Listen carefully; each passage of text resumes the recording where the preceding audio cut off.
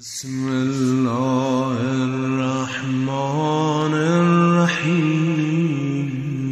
إلهي عظم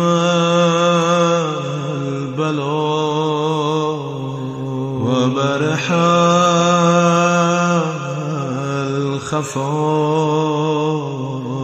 وانكشف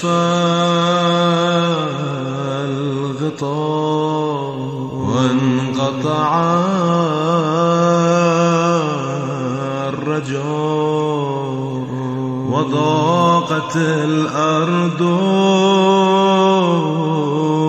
ومنعت السماء. وأنت المستعان. وإليك المشتكى. وعليك المعول في والرخاء. اللهم صل على محمد وآل محمد. أولي الأمر الذين فرضت علينا طاعتهم وعرفتنا بذلك منزلته. ففرج عنا بحقهم فرجا عاجلا قريبا. كلمح البصر.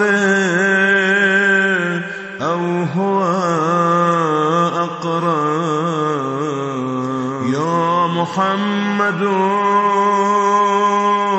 يا علي يا علي يا محمد. اكفياني فإنكما كافيان.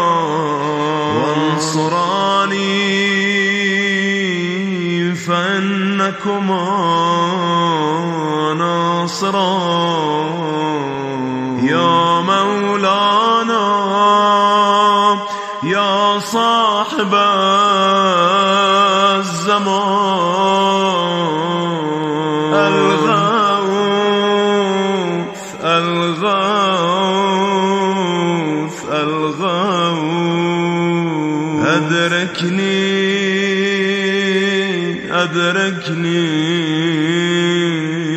أدركني الساعة الساعة الساعة. العجلة العجلة العجلة.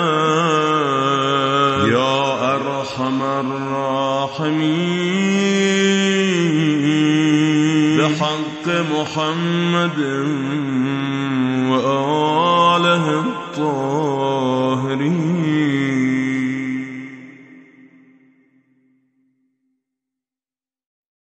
أعوذ بالله من الشيطان الرجيم. بسم الله الرحمن الرحيم. الحمد لله رب العالمين والصلاة والسلام على النبي وآله. لا سيما بقية الله في الأرضين. اللهم صل على محمد وآل محمد وعجل فرجهم. امام زمانہ عجل اللہ تعالی فرجہ الشریف کی حیات مبارکہ۔ اس حوالے سے آج آپ کے سامنے کچھ باتیں امام عصر کے سلسلے میں اور آپ کی زندگی اور آپ کی حیات مبارکہ کے سلسلے میں بیان ہوں گی۔ حضرت امام زمانہ اجل اللہ تعالی فرجہ الشریف جو ختمی مرتبت پیغمبر اکرم حضرت محمد مصطفیٰ صلی اللہ علیہ وآلہ وسلم کے بارہویں جانشین برحق ہیں۔ آپ کی ولادت باسعادت پندرہ شعبان المعظم دو سو پچپن ہجری مشہور کے مطابق، ورنہ دو سو چھپن اور دو سو چون بھی بیان ہوئی ہے۔ دو سو پچپن ہجری میں آپ کی ولادت ہوئی پندرہ شعبان المعظم کو اور سامرہ میں اس وقت گیارہویں امام امام حسن عسکری علیہ صلاۃ والسلام کا قیام تھا، تو وہیں سامرہ ہی میں جو آج عراق کا ایک شہر ہے، وہاں آپ کی ولادت ہوتی ہے۔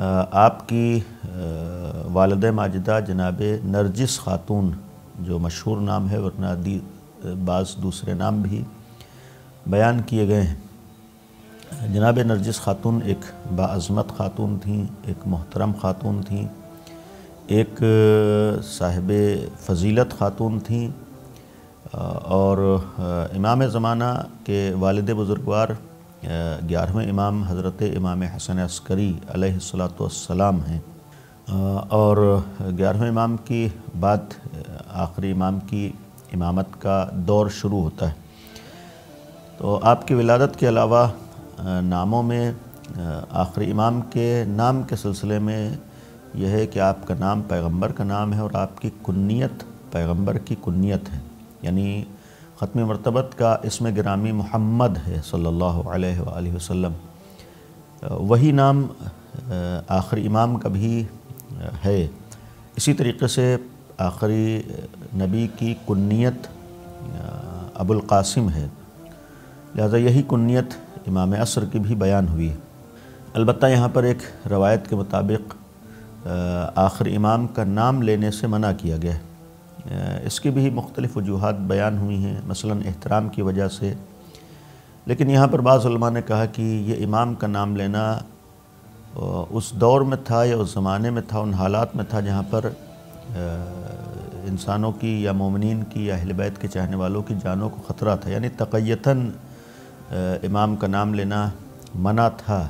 بعض علماء نے لکھا ہے، لیکن بعض علماء نے یہ بھی کہا ہے کہ امام کے احترام میں ان کا نام نہ لینا چاہیے۔ البتہ شرعن نام لینے میں کوئی گناہ نہیں ہے، کوئی حرام نہیں ہے۔ لیکن یہ بھی ایک احترام کا پہلو ہے۔ امام کو القاب سے پکارنے کے لیے کہا گیا ہے۔ امام کے القاب بھی بہت زیادہ ہیں، کثرت سے ہیں۔ جو مشہور القاب ہیں، مثلا امام کا ایک لقب مہدی ہے۔ بعض نے نام بھی بیان کیا، لیکن امام کا لقب ہے مہدی۔ اس کی بھی مختلف وجوہات یعنی لقب کی کوئی نہ کوئی وجہ بھی ہوتی ہے۔ مہدی مشہور القاب میں ہے یا اسی طریقے سے ابا صالح، یہ بھی امام کا ایک لقب ہے، یا قائم آل محمد، یہ بھی امام کا ایک لقب ہے۔ یا مہدی آل محمد، یہ بھی امام کا لقب ہے۔ حجت اللہ، ولی اللہ، بقیت اللہ، یہ سارے امام کے القاب ہیں۔ اسی طریقے سے امام منتظر منتظر یعنی جس کا انتظار کیا جا رہا ہو۔ لہذا امام کا ایک لقب امام منتظر ہے۔ یا اسی طریقے صاحب الزمان یعنی زمانے کے امام یا صاحب الزمان یا صاحب الزمان ہم لوگ کہتے ہیں۔ تو یہ بھی امام کا ایک لقب ہے، صاحب الزمان، یا ہم لوگ اردو میں امام زمانہ کہتے ہیں۔ یہ امام کے القاب ہیں اور یہاں پر ایک روایت ہے، آٹھویں امام امام علی رضا علیہ السلاۃ والسلام سے کہ جب آخری امام کا نام بالخصوص ایک لقب ہے امام کا قائم، آل محمد جیسا کہ القاب میں بیان کیا۔ یہ اس لفظ کے لیے، اس لقب کے لیے کہا گیا ہے کہ جب بھی اس لقب کا ہم استعمال کریں، اپنی زبان پر جاری کریں، تو امام کے احترام میں کھڑے ہوں اور اپنے سر پر ہاتھ رکھیں۔ احتراماً یہ بھی ایک طریقے کا اظہار عقیدت ہے اور اس سلسلے میں آٹھویں امام کی روایت ہے کہ امام نے جب نام لیا، امام نے قیام فرمایا کھڑے ہوئے اور سر پر ہاتھ رکھا ہے۔ تو یہ بھی ایک امام کے سلسلے میں ہمارا ایک فریضہ ہے اور ایک، گویا ایک توجہ دلانا ہے ہمارے لیے کہ ہم جب بھی امام کا نام لیں تو احترام کریں اور اگر کسی بھی نام کو ہم استعمال کرتے وقت احترام میں کھڑے ہو رہے ہیں تو یہ بھی ایک اچھی چیز ہے، مستحسن عمل ہے۔ لیکن یہ بھی شرعن واجب نہیں ہے۔ یعنی اگر مثلا کوئی امام کا نام لے کر نہیں کھڑا ہو رہا تو شرن حرام نہیں ہے، گناہ نہیں ہے۔ ہاں البتہ احترام کرنا چاہیے۔ اگر نیت بے احترامی کی ہو تو جائز نہیں ہوگا۔ اسی طریقے سے امام زمانہ اجل اللہ تعالیٰ فرج الشریف کے سلسلے میں یہ بھی توجہ رہے کہ اہل سنت کا بھی امام عصر کے سلسلے میں ایک کلی طور پر عقیدہ ہے۔ یعنی مہدی معود کے وہ بھی قائل ہیں۔ ان کے یہاں بھی آخری امام، آخری حجت خدا کا تذکرہ موجود ہے یعنی ان کے عقائد میں سے ہے۔ بہت سے علماء نے امام زمانہ جل اللہ تعالیٰ فرج الشریف کی ولادت کا تذکرہ کیا ہے۔ بعض اہل سنت علماء نے امام زمانہ سے متعلق کتابیں لکھی ہیں۔ بہت سے علماء نے اعتراف کیا ہے کہ آخری امام، گیارہویں امام کے بیٹے ہیں یعنی امام حسن عسکری علیہ صلاۃ والسلام کے بیٹے ہیں، امام علی نقی علیہ صلاۃ والسلام کے پوتے ہیں۔ یعنی یہ بھی ایک اعتراف موجود ہے اور بہت سی کتابوں میں امام زمانہ کی پندرہ شابان دو سو پچپن ہجری ولادت کا بھی اعتراف کیا ہے۔ ہم شیعوں کا گویا اس میں متفقہ فیصلہ ہے، عقیدہ ہے اور ثابت ہے، مسلمات گویا تاریخ میں سے ہے، شیعوں کے عقائد میں سے ہے کہ یہی امام پندرہ شابان کو پیدا ہوئے اور دو سو پچپن ہجری میں یعنی گیارہویں امام کی زندگی میں گیارہویں امام کے بیٹے ہیں۔ اور آج بھی ہمارا عقیدہ ہے کہ وہی امام زندہ ہیں۔ یعنی اس وقت بھی امام موجود ہیں، یہ بھی اللہ کی ایک قدرت کی نشانی ہے، اللہ کی مشیت ہے۔ اور جب اللہ مسئلہ سمجھے گا، انہی امام کو اجازت دے گا اور وہ ظاہر ہوں گے اور ظاہر ہو کر جیسا کہ الہی وعدہ ہے اور پیغمبر نے اس کی خبر دی ہے کہ جس طریقے سے ظلم، دنیا ظلم و جور سے بھر چکی ہوگی، اسی طریقے سے امام دنیا کو عدل و انصاف سے بھریں گے۔ یعنی یہ وہی امام ہیں جو اس وقت بھی امامت کا فریضہ انجام دے رہے ہیں۔ بس یہ زمانہ غیبت کا زمانہ ہے، ہم اپنی نگاہوں سے نہیں دیکھ سکتے۔ ہیں چونکہ امام زمانہ جل اللہ تعالیٰ فرج الشریف کی جس وقت ولادت ہوئی ہے، تو پانچ سال کا عرصہ تقریباً آپ کا اپنے والد ماجد کے ساتھ رہا ہے۔ یعنی دو سو پچپن سے دو سو ساٹھ ہجری تک، آٹھ ربی الاول دو سو ساٹھ ہجری کو گیارہویں امام کی شہادت ہوتی ہے۔ اس کے بعد سے آخری امام کی امامت شروع ہوتی ہے۔ یہاں یہ بھی توجہ رہے کہ آخری امام کی ولادت بھی یہ بھی ایک اللہ کی مصلحت اور مشیت تھی کہ ظاہری اعتبار سے اسے پوشیدہ رکھا گیا اور امام کی ولادت سے عمومی طور پر سب آگاہ نہیں تھے۔ اسی لیے وہ روایت جو گیارہویں امام سے ہے، جس وقت چودہ شابان کے سلسلے میں منصوبی روایت ہے جناب حکیمہ خاتون سے۔ نوے امام کی بیٹی ہیں کہ گیارہویں امام نے فرمایا کہ پھپی جان، آج آپ رکیے اور قیام فرمائیے، آج اللہ اپنی آخری حجت کو دنیا میں بھیجے گا۔ آج ولادت ہوگی، یہ بھی خبر دی تھی۔ تو اس وقت جناب حکیمہ خاتون سے منصوب جملہ ہے کہ میں آثار ولادت کسی خاتون میں نہیں دیکھ رہا ہوں یعنی گیارہویں امام کی ازواج یا کنیسوں میں۔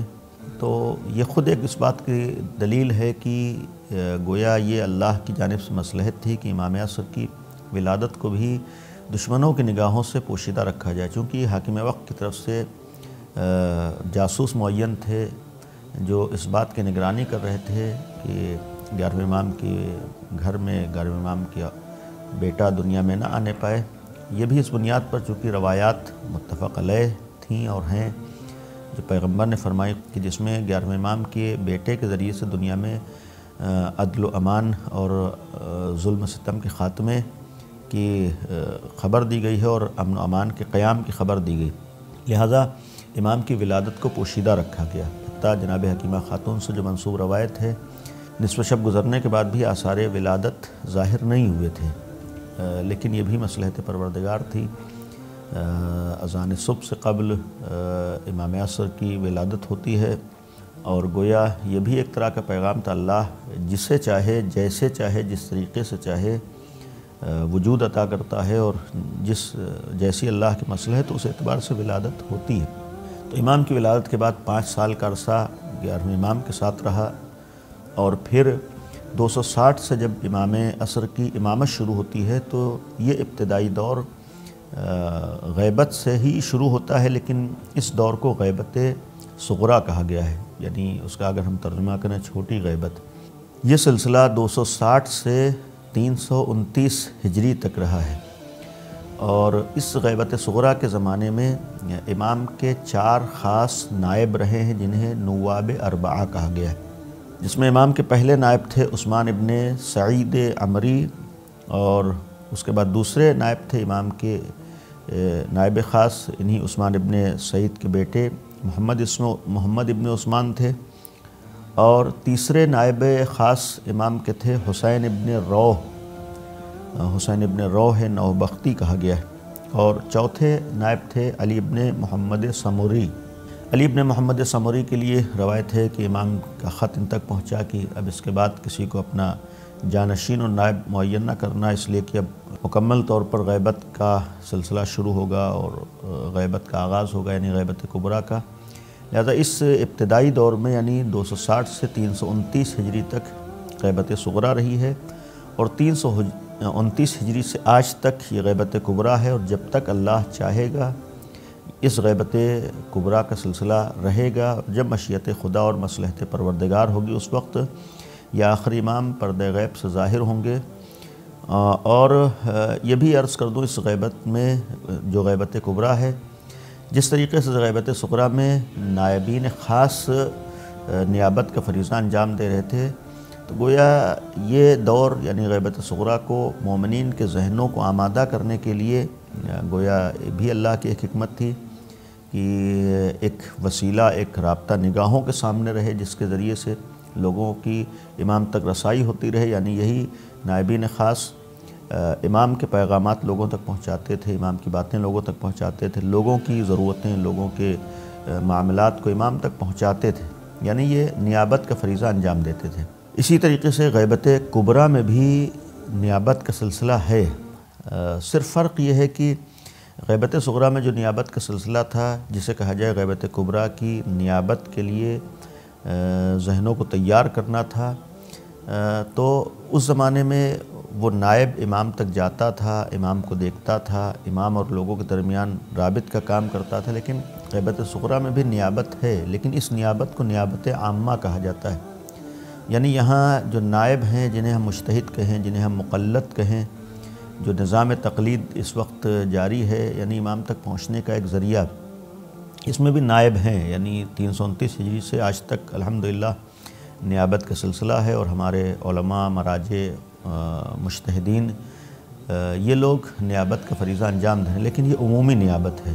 اسے ہم غیبت صغرا کے زمانے کی نیابت کو خصوصی نیابت کہیں گے یا کہا جاتا ہے۔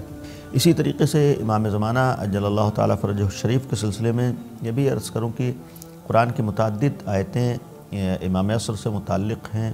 مثلا و نورید و نمن الذین استضعفوا فی الارض یہ بھی ایک آیت امام کے سلسلے میں بیان کی گئی ہے۔ یا مثلا سورہ قدر یعنی بسم اللہ الرحمن الرحیم، انا انزلناہ فی لیلۃ القدر وما ادراک ما لیلۃ القدر۔ اس میں چونکہ آخر میں تنزل الملائکۃ والروح فیہا باسم ربہم من کل امر، سلام حتامت الفج کی ملائکہ ہر سال شب قدر میں ہر امر کو لے کر نازل ہوتے ہیں۔ تو اس کے سلسلے میں روایات ہیں کہ امام عصر کے پاس آتے ہیں۔ یعنی اس سورہ کا تعلق بھی امام زمانہ سے ہے۔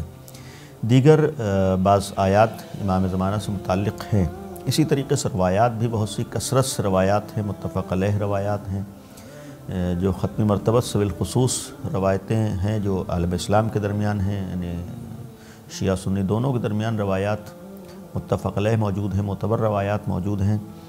اس کے علاوہ ام معصومین علیہ صلاۃ والسلام سے کثرت سے روایتیں امام زمانہ کے سلسلے میں ہیں۔ مثلا امام زمانہ کے سلسلے میں پیغمبر کی ایک مشہور روایت جو متفق علیہ ہے کہ الفاظ کے البتہ اختلاف کے ساتھ کہ من ماتا ولم یعرف امام زمان حمات میتتاً جاہلیہ، کہ جو بھی مر جائے اور اپنے زمانے کے امام کو نہ پہچانے، اس کی موت جاہلیت کی موت ہے یعنی اس کی موت حق پر نہیں ہوگی اور اسلام پر نہیں ہوگی، بلکہ کفر و شر کی موت ہوگی۔ یعنی یہ ایک روایت خود امام عصر کی عظمت کو بیان کر رہی ہے اور اس سلسلے میں توجہ دلا رہی۔ یہاں ایک مسئلہ یہ بھی قابل توجہ ہے کہ امام زمانہ کی ولادت دو سو پچپن ہجری میں ہوئی اور آج بھی امام زندہ ہیں اور اتنے عرصے سے زندہ ہیں۔ اس سلسلے میں ایک الگ سے ضرورت ہے گفتگو کی، لیکن صرف اشارتاً کی اولاً طولانی عمر عقلاً محال نہیں ہے۔ اور سب سے پہلی چیز ہے کہ اللہ صاحب اختیار ہے، صاحب قدرت ہے، اللہ جس کو جتنے دن عمر دینا چاہے دے سکتا ہے۔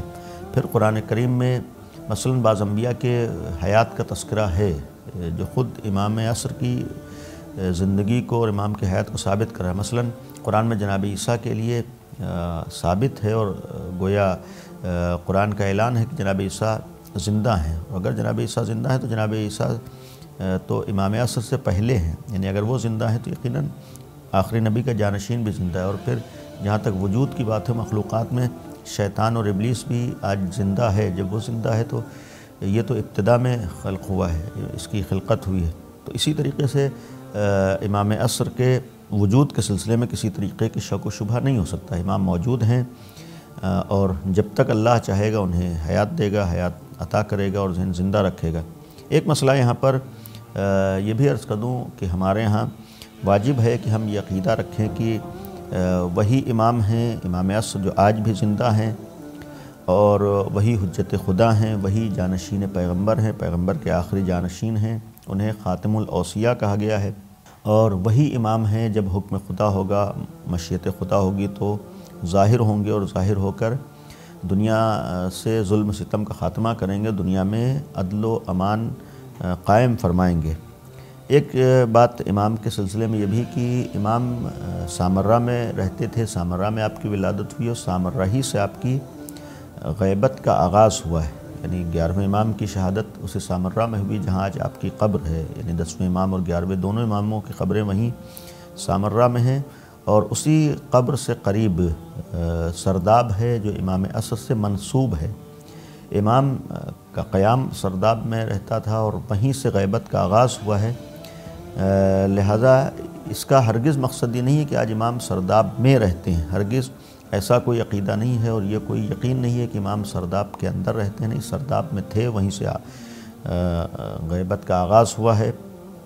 وہ جگہ امام سے منصوب ہے، نسبت کی وجہ سے احترام ہے۔ ہرگز بعض غلط فہمیاں لوگ پھیلاتے ہیں یا اس طریقے کی باتیں مذہب اہل بیت کے مقابل میں بعض افراد پیش کرتے ہیں جو غلط ہے۔ امام اللہ جہاں چاہے رکھے گا اور امام ہیں، اسی کائنات میں، اسی روئے زمین پر ہیں۔